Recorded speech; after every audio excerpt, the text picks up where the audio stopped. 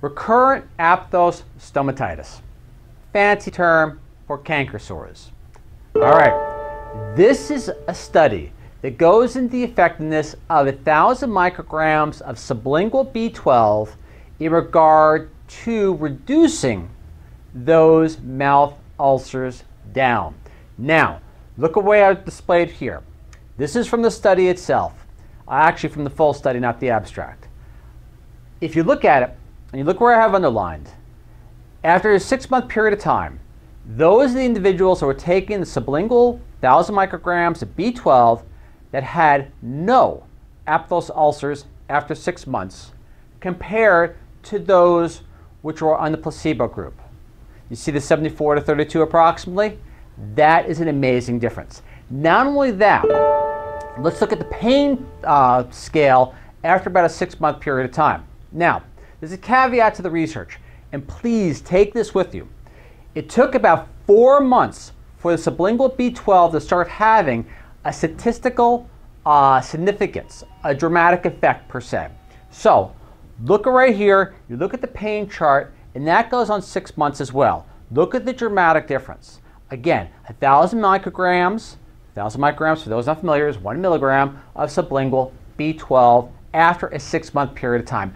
I would have loved to see the study go beyond six months. But with that in mind, let's get right into the research as follows.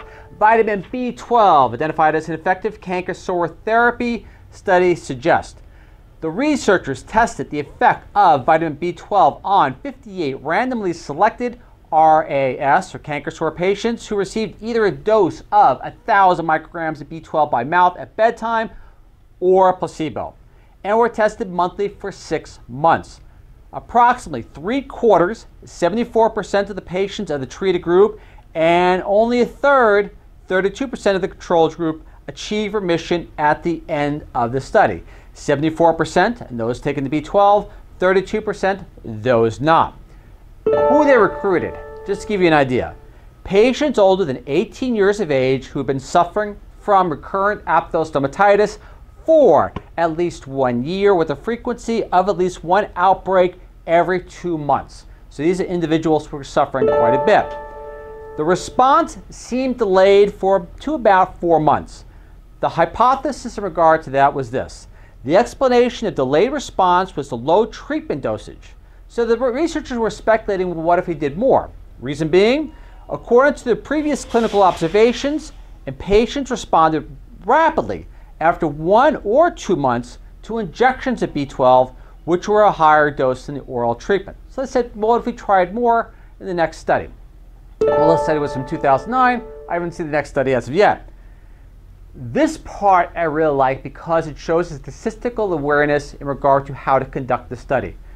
The sample size calculations were determined as follows. According to our previous clinical observations, as many as 73% of patients were aphthous free with prolonged vitamin B12 treatment to achieve, often we don't hear this terminology, a statistical power of 80% and a level significance of 5%.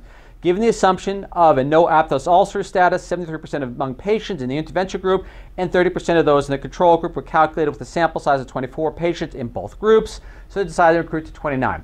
It's a statistical uh, importance to those who uh, want to follow the research to make sure the research itself is relevant. In this case, Yes, the research is relevant according to the statistic.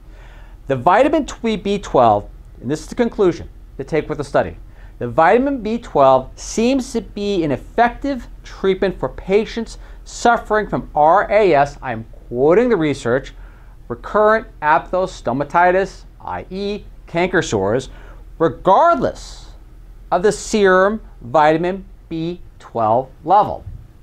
That sounds interesting a little, not a little bit confounding on its own.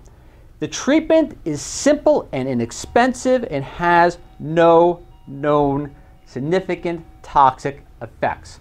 So to recap real fast, the individuals took 1,000 micrograms of a sublingual B12 daily for a six month period of time. The effects, the true positive effects of the B12 did not start taking hold till about four months and then continue dramatically to the end of the study at six months itself. The researchers speculate if they did gave the individual patients more. They may have achieved uh, remission status faster, or I should say no aphthous ulcers. That's speculation and conjecture, which may be true, but has to be uh, determined in future studies.